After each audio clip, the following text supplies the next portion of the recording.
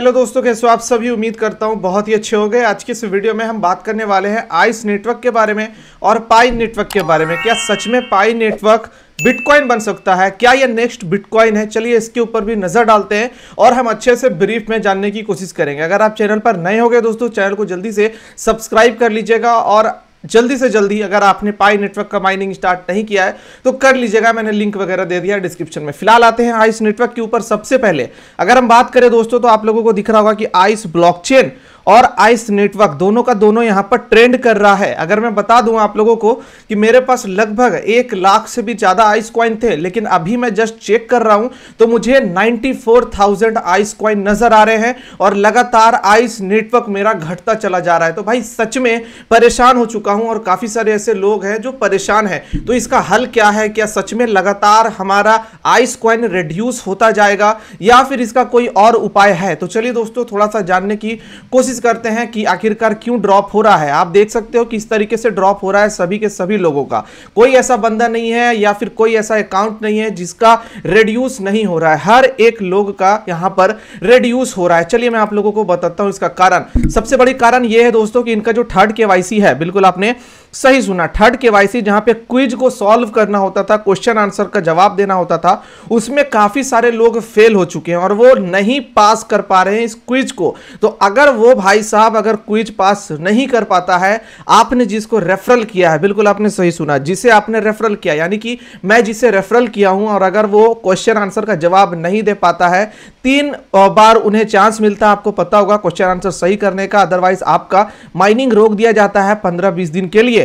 तो exactly exactly जो भी सॉल्व नहीं कर पाया, उसका भी जो कॉइन है, वो मेरे से काटा जाएगा। यानी कि मैं मैं गलत मैं गलत साबित हुआ उसे के केवाईसी कंप्लीट नहीं करवाने में, मैं अपने रेफरल को। तो भाई, ये मुझे काफ़ी ज़्यादा गलत लगा और ये डेफिनेटली एक गलत चीज़ है। अगर अगला पार्टी नहीं कर पा रहा है तो इसमें मेरी क्या गलती है भाई? मैं उसके घर जाके तो नहीं केवाईसी करवा दूँगा अच्छे से। तो आप समझिए यहाँ पर कि आइस नेटवर्क का एक बहुत बड़ा डीमेरिट मुझे लगा और ये गलत काम कर रहा है। कहीं ना कहीं इस तरीके से ऐसा नहीं करना चाहिए। और ये मेरे साथ ही नहीं हुआ है, लगभग सभी लोगों के साथ में हुआ है। इसी के की वजह से ट्विटर के ऊपर आइस नेटवर्क ट्रेंड कर रहा है, आप देख सकते हो। अगर हम बात करें कि अभी फ़िलहाल जो क्विज वाला सिस्टम था या फिर क्वेश्चन आंसर का जो सिस्टम था, उसे कितने लोगों ने कंप्लीट कर लिया है तो भैया आप देखिए, टोटल यूज़र जो है आइस के पास लगभग 38 लाख के आसपास में है। और लगभग ये क्विज पाँच दिन के लिए और बचा है, पाँच दिन के अंदर आपको थर्ड के करना है, क्वेश्चन आंसर कंप्लीट करना है। पास के कितने लोगों ने कर लिया है, पास कर लिया है क्वेश्चन आंसर को? लगभग नौ लाख लोगों ने। और फेल हो चुके हैं लगभग साढ़े चार लाख लोग। तो भाई आप सोचिए यहाँ पर। बिल्कुल आप अच्छे से सोचिए कि इतना ज़्यादा टफ क्वेश्चन पूछा जाएगा तो यहीं पर तो मैक्सिमम लोग छट गए। मतलब कि उनका जो है वो रिड्यूस हो गया उनके तरफ़ से टोकन भी हमारा रिड्यूस हुआ और वो लोग कल को अपना आइस कॉइन क्लेम भी नहीं कर पाएँगे। मैंने तो अपना केवाईसी कर लिया अच्छे तरीके से। काफ़ी सारे हमारे यूज़र्स हैं उन्होंने कर लिया है, ठीक है? अगर आपने नहीं किया है तो कमेंट करके बताना। मैं आप लोगों को केवाईसी का वीडियो या फिर अपने टेलीग्राम चैनल पर केवाईसी का जो प्रोसेस है वो बताने की कोशिश करूँगा, क्योंकि काफ़ी सारे लोगों ने मैक्सिमम लोगों ने कर लिया है। कुछ ही लोग होंगे जो नहीं किए होंगे। तो आइस का ये इंपॉर्टेंट अपडेट था दोस्तों, जो कि मुझे आपके साथ में शेयर करना था। ये मैंने आपके साथ में शेयर कर दिया। एक और चीज़ मैं आप लोगों को बता देना चाहता हूँ कि आइस का जो माइनिंग है वो अब बंद हो चुका है, लगभग लगभग बंद हो चुका है। तो अब आपका आइस कॉइन ज़ीरो होने से आप कैसे रोक पाओगे? वो मैं आपको बताता हूँ। आपको डेली 24 आवर में एक बार आकर आइस नेटवर्क के माइनिंग वाले बटन पर क्लिक करना होगा। अगर आप क्लिक नहीं करते हो तो आइस कॉइन आपका रिड्यूस होते जाएगा और एक समय बाद ज़ीरो हो जाएगा। इस चीज़ का ध्यान दीजिएगा। मेरा बहुत सारा ऐसा कॉइन है जो लगातार रिड्यूस हो गया है और मैंने मिस कर दिया है। कुछ इस तरीके से आप यहाँ पर देख सकते हो। अब चलिए दोस्तों, आते हैं बीटीसी के ऊपर और सॉरी पाई नेटवर्क के ऊपर और बात करते हैं कि क्या पाई नेटवर्क अगला बिटकॉइन हो सकता है। अगर आप देखिएगा दोस्तों तो बयालीस लाख चौरासी हज़ार एक सौ उनहत्तर रुपए आज के डेट में बिटकॉइन का प्राइस है और पाई नेटवर्क का प्राइस अभी कुछ भी नहीं है। आप देखोगे तो उसका मेन नेट भी नहीं आया है। लेकिन चांसेस बहुत ज़्यादा ज़्यादा है कि पाई नेटवर्क का जो मिनट है, वो आप लोगों को इसी साल आता हुआ नज़र आएगा। बिल्कुल आपने सही सुना। यहाँ पर आप देख सकते हो कि all Pi network Pinets are working hard for this open mainnet 2024 यानी कि इसी साल आपको मिनट आता हुआ नज़र आएगा बिकॉज़ इसी साल बिटकॉइन का बुल रन भी है और मिनट आ जाना चाहिए। अगर नहीं आता तो कहीं ना कहीं ये एक गलत बात है और लोगों का जो विश्वास है पाई नेटवर्क की तरफ़ से तोड़ा जा रहा है। तो आप भी अगर चाहते हो पाई नेटवर्क 2024 में मेन नेट लेकर आए तो कमेंट करके ज़रूर से बताइएगा और ज़्यादा से ज़्यादा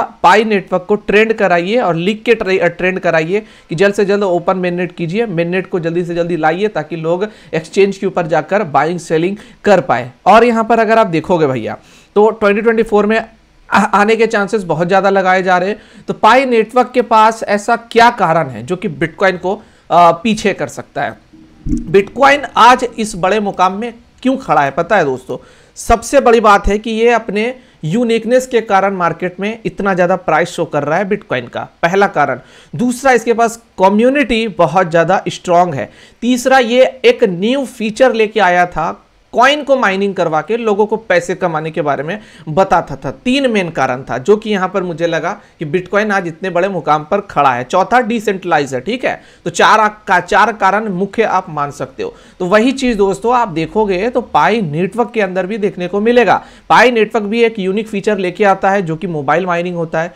दूसरा ये कि आने वाले समय में पाई नेटवर्क का कम्युनिटी जिस तरीके से बढ़ रहा है, इसका सपोर्ट भी बढ़ता चला जाएगा। तीसरा ब्लॉकचेन बहुत अच्छा है। पाई नेटवर्क का और इसके साथ साथ चौथा दोस्तों, यहाँ पे अगर आप देखोगे तो वेब थ्री या फिर डिसेंट्रलाइजेशन जो सिस्टम है पाई नेटवर्क के अंदर, वो मुझे काफ़ी ज़्यादा पसंद आया और काफ़ी ज़्यादा सभी लोगों को भी पसंद आ रहा है। इस वजह से ही पाई नेटवर्क का जो पॉपुलैरिटी है, वो बढ़ता जा रहा है। लेकिन समझने वाली बात यह है कि जिस दिन पाई नेटवर्क सॉरी बिटकॉइन जिस दिन लॉन्च हुआ था, आप देखिए, एक बिटकॉइन का कीमत 2010 में, केवल और केवल दोस्तों, दो रुपए पचासी पैसा था। आप यहाँ पर देख सकते हो, दो रुपए पचासी पैसा, यानी कि तकरीबन तकरीबन दो रुपए के आसपास में एक बिटकॉइन का प्राइस हुआ करता था। और आज आप देखिए, दो रुपए का बिटकॉइन बयालीस लाख रुपए तक चला गया है। आप यहाँ, आपने यहाँ पे समझा कि क्या कारण था? यही चार कारण था। और ये चारों का चारों कारण दोस्तों पाई नेटवर्क के साथ में भी मैच खा रहा है। बिल्कुल आपने सही सुना। पाई नेटवर्क के साथ में भी मैच खा रहा है और एग्जैक्टली चीज़ें आप लोगों को पाई नेटवर्क के अंदर भी इसी तरीके से देखने को मिलेगी।